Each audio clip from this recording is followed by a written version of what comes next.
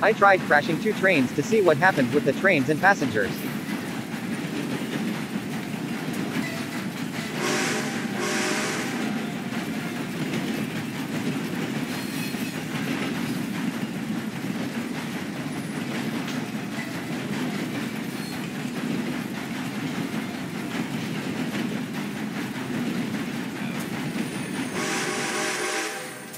Unfortunately it seems the devs thought of people like us, and the trains automatically stop near each other, when they are on the same track.